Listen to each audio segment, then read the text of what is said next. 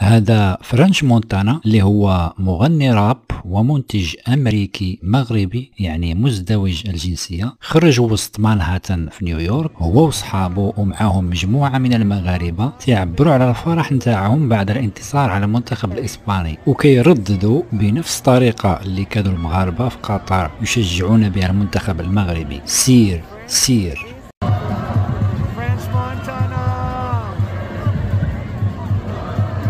Montana in New York celebrating the Moroccan soccer team victory.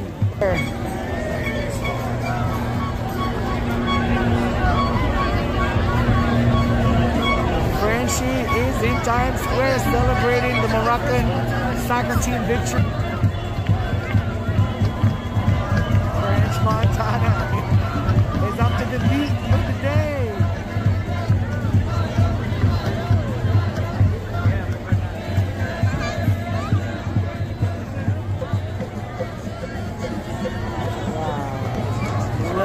And loads and loads of Moroccans all over Times Square.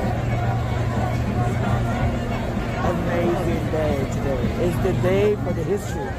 Today, today marks the history. December 10, 2022.